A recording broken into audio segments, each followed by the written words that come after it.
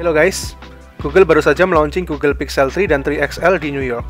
Pada prinsipnya, Google Pixel 3 dan 3 XL ini adalah seri penerus dari suksesor sebelumnya yaitu Pixel 2 dan Pixel 2 XL.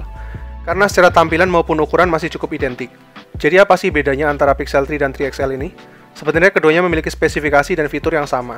Perbedaannya hanyalah terdapat pada pilihan ukuran layar dan baterainya saja, yang tentunya sesuai namanya lebih besar di versi XL. Oke, tanpa perlu berlama-lama lagi, kita langsung mulai saja membahas lebih jauh fitur dan spesifikasinya. Yang pertama, kita mulai dari layar dan desainnya. Desain Google Pixel 3 maupun 3 XL memang cukup identik. Bodinya dibuild dengan kombinasi matte dan glass dengan seamless transition dengan kombinasi material aluminium frame dan hybrid coating. Pada bagian belakang terlihat compact dan simple karena seperti yang bisa kita lihat, Google Pixel 3 hanya menggunakan real single kamera. Sama seperti pendahulunya, dan nampaknya Google masih cukup pede dengan kemampuan single kameranya di tengah euforia dual dan triple kamera saat ini. Kemudian di bagian depannya terdapat dual front kamera. Untuk versi Pixel 3 desainnya masih konvensional dan tanpa notch. Sedangkan untuk 3XL memiliki notch yang sayangnya terlihat cukup luas dan besar jika dibandingkan dengan notch smartphone lainnya. Kemudian untuk bagian displaynya memiliki perbedaan spesifikasi sebagai berikut. Pixel 3 memiliki bentang layar 5,5 inch Full HD OLED display dengan Corning Gorilla Glass 5 dan HDR support. Dan Pixel 3 XL memiliki bentang layar sebesar 6,3 inch QHD OLED display dengan Corning Gorilla Glass 5 dan HDR support.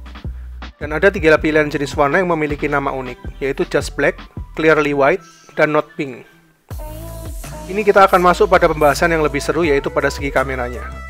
Dalam hal kamera, keduanya memiliki spesifikasi dan fitur yang sama, yaitu single rear kamera 12,2 megapiksel dengan aperture 1.8 dan view angle hingga 76 derajat. Meskipun masih menggunakan single kamera, namun jangan disalahartikan ketinggalan zaman. Justru Google memiliki sistem kamera yang di atas rata-rata smartphone dual maupun triple kamera lainnya. Karena terbukti hanya dengan single kamera saja Pixel 3 masih mampu untuk bersaing dengan fitur-fitur smartphone dual kamera lain yang kekinian. Seperti setting depth of field setelah melakukan pemotretan, Selain itu, terdapat pula fitur Super Resolution Zoom without blur yang memungkinkan melakukan zoom secara digital tanpa mengorbankan detail dari pixels. Dan bahkan low light kameranya diklaim mampu menghasilkan jepretan yang jauh lebih terang dan natural dibandingkan dengan iPhone XS meskipun tanpa bantuan LED flash sekalipun. So, single kamera ketinggalan zaman? Think again guys. Para pengguna Pixel 2 pasti paham dengan kehebatan single kamera besutan Google ini. Just function, no gimmick. Selanjutnya kita beralih ke bagian depan layar. Nah, justru di bagian front kamera terdapat dual kamera, yang masing-masing terdiri dari 8 megapiksel primary kamera dengan aperture 1.8 dengan luas angle 75 derajat, dan 8 megapiksel wide kamera dengan aperture 2.2 dan luas angle 97 derajat. Wide kameranya ini akan berguna pada fitur baru selfie kameranya yaitu group selfie kamera, yang memungkinkan untuk menghasilkan gambar selfie dengan sudut pandang yang lebih luas berkat lensa wide-nya. Selain itu juga terdapat fitur baru yaitu Perfect Moment Top Shot, jika kamu sering melewatkan menangkap momen-momen dramatis dalam hidupmu, maka fitur ini akan mengantisipasi hal itu. Karena AI sistem pada kamera Pixel 3 ini akan menyimpan dan merekomendasikan momen terbaik yang sudah kamu capture dalam setiap jepretanmu. Kemudian untuk video recordingnya sendiri, Pixel 3 mampu menangkap hingga resolusi 4K 30 fps. Dan yang terakhir adalah berkat dukungan unlimited online storage yang disediakan oleh Google, kini kamu bisa menyimpan semua momen fotomu secara online tanpa perlu lagi khawatir akan kehabisan memori. Oke, yang terakhir kita akan bahas performa software dan hardware-nya. Pixel 3 dan 3 XL ditenagai oleh chipset besutan Qualcomm yaitu Snapdragon 845 dengan GPU Adreno 630. Chipsetnya bahkan dilengkapi pula dengan chip Titan M security module yang diklaim mampu memberikan proteksi khusus pada data maupun password dari penggunanya.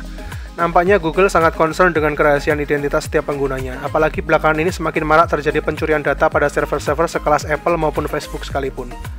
Kemudian dari sisi memori, Pixel 3 menggunakan RAM sebesar 4 GB dengan dua pilihan storage yaitu 64 GB dan 128 GB.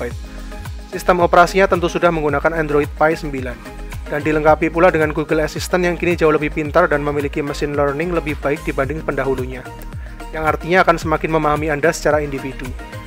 Untuk sisi speaker tidak perlu diragukan lagi. Dengan mengorbankan segi desain pada dagunya, kamu akan mendapatkan salah satu kualitas suara speaker terbaik yang ada pada smartphone berkat dukungan dual front firing stereo speaker. Yang terakhir adalah baterainya.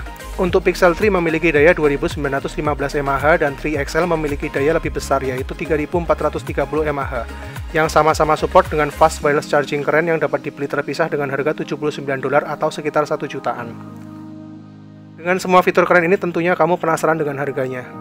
Pixel 3 XL akan dijual dengan harga 799 US dollar atau sekitar 12 jutaan. Dan Pixel 3 XL dibanderol dengan harga 899 US dollar atau sekitar 13,5 jutaan.